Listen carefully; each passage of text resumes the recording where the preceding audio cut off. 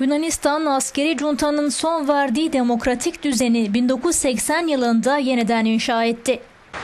Hemen ertesi yılsa Yunan halkı tarihi bir zaman dilimine girdi. Ülkedeki ekonomik zorluklara rağmen Atina Avrupa Birliği'nin 10. üyesi olmayı başardı. Bu tarihten sonra kıtanın entegrasyon çalışmaları devam ederken birliğe 18 ülke daha katıldı.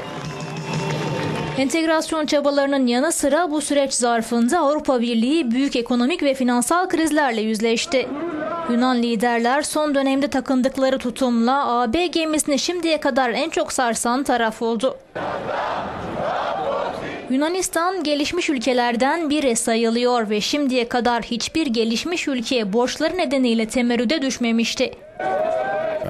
Eurogrup Başkanı ben sadece gerçekleri söylüyorum. Program bu akşam bitiyor ve Yunanistan bildiğime göre Atina temerrüde düşecek dedi. Piyasa uzmanı Lawler ise bu onları resmi olarak IMF borçlusu yapar. Temerrüt değil ama borçlu. Yunanlar Zimbabwe'ın bulunduğu grubun içinde yer almaya başlar dedi. Reddedilen teklifler, aşılan son tarihler ve milyar dolarlık kurtarma paketleri.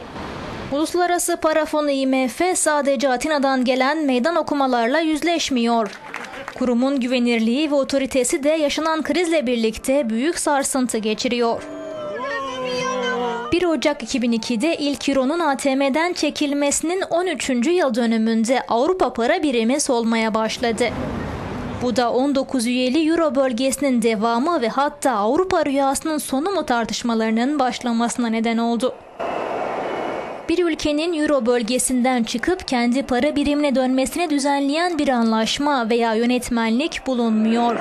Yunanistan'ın amacı da bu değil. Yunan Başbakanı Çipras defalarca bunu tekrarladı. Binlerce Yunan vatandaşı da yaptıkları gösterilerle Avrupa Birliği bağlarının ne kadar güçlü olduğunu gösterdi. Bütün bunların ışığında Atina'dan ayrılması istenirse itirazın gelmesi kaçınılmaz görünüyor.